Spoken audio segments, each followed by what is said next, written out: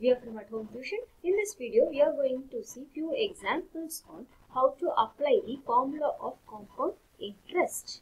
First example is find the amount by which Ram will get on rupees 4096 if he gave it for 18 months at 12.5% per annum, interest being compounded half yearly. Okay, solution. First, let us see what is given. So, it's given principal. So, Ram will get an amount. So, getting an amount is nothing but principal. So, that is rupees 4096. Then, he gave it at the rate of interest is 12.5% per annum. Okay, 12.5% per annum. That is for one year. That is compounded half yearly. The number of years, here it is given it as 18 months. So 18 months is 12 plus 6 months. So 12 months is 1 year and then 6 months is half year. So it is one and a half years. Now it's given interest is compounded half yearly. Okay. So for compounded half yearly, for interest being compounded half yearly, we know that rate of interest will be halved and the number of years will be doubled. So here the given rate of interest is 12.5% per annum. So it will be halved. Okay, so 12.5 means 12 times 2, 24 plus 1, 25.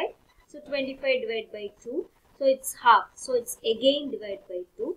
So divide by 2, divide by 2, you will get divided by 4. So it is 25 divided by 4% per annum half early.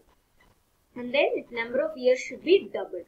So it is given one and a half years. So if it is doubled, okay, one and a half years is doubled, then you will get three years.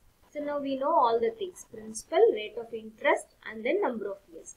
Now we know that the amount formula for compound interest is A equal to P into 1 plus R divided by 100 the whole power n. So we know all the values P, R and N. So we can directly substitute in the formula to find the amount. So P is rupees 4096 into 1 plus R is 25 divided by 4 into 100 to the whole cube. So N is 3. So now after simplifying you will get 4096 into 1 plus 25 divided by 400 whole cube. Okay, so 25 divided by 400 can be splitted as 1 divided by 4 into 4 the whole cube. So 4096 into 4 times 4 is 16 plus 1 it will become 17 divided by 16 the whole cube.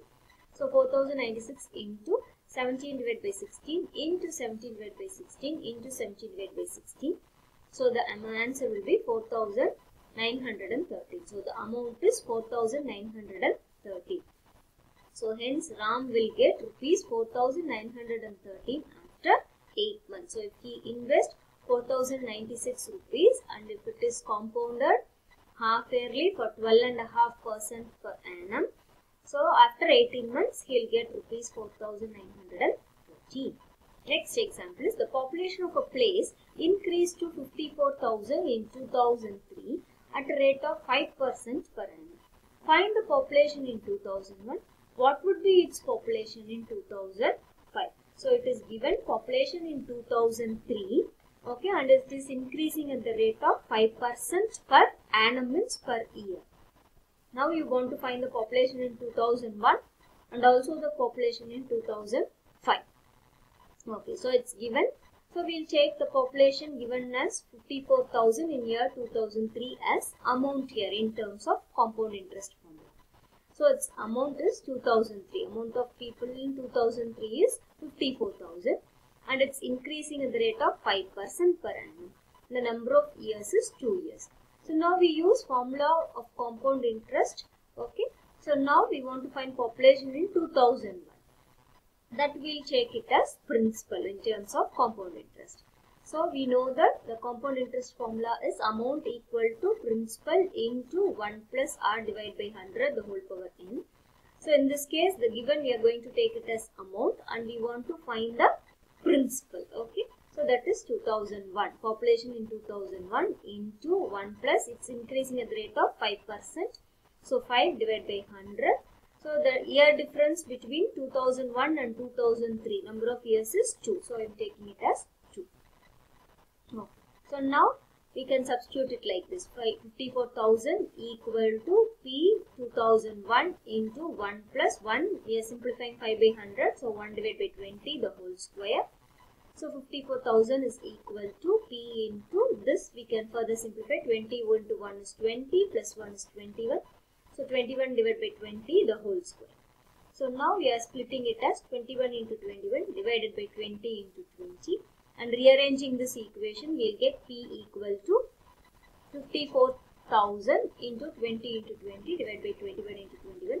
So on simplifying this you will get population in 2001 as 48,979.59 so we can approximate it as 48,980. So thus the population in the year 2001 is 48,980 so which is less than the population in the year 2003 that is 54,000. So it's increased by 5%. Next question is what would be its population in 2005? So now here the population is increasing. So 2005 population we can take that as amount. Okay, so then 2003 population we will take that as principal we are going to apply the same compound interest formula A equal to P into 1 plus R by 100 the whole power n. Okay, so here this is the principal starting population and we are going to find the ending population here. In previous case, we are given with ending population and we have found out the starting population. Okay. So now we are going to apply all the things directly. So 54,000 into 1 plus rate of in increasing is 5% divided by 100. The year difference between 2003 and 2005 is again 2. So we are going to take n as 2. So whole square. So 54,000 into 1 plus 5 divided by 100 simplified as 1 divided by 20 the whole square. So it's further simplified as 21 divided by 20 the whole square. So 54,000 into 21 into 21 divided by 20 into 20. Okay, so it's simplified. You will get the amount population as 59,535. So the population in the year 2005 is 59,535. Next example is in a laboratory, the count of bacteria in a certain experiment was increasing at the rate of 2.5% per hour.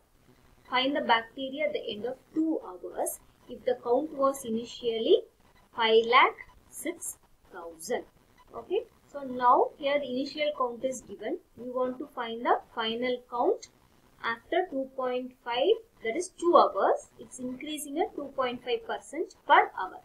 So in previous cases we have taken it as per annum that is per year. Here it is given as per hour.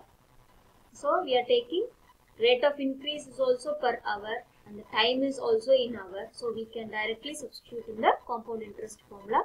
A equal to P into 1 plus R divided by 100 the whole power n.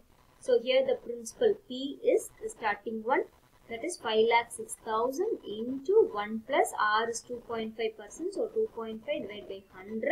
Here the num n is number of hours so it is 2. So if you simplify you will get 5 lakh 60,000 into 1 plus 1 divided by 40 the whole square so further simplification, you can get the amount A as 5,31,616.25. So you can approximate it as 5,31,616. So we can say the population of bacteria after 2 hours is 5,31,616.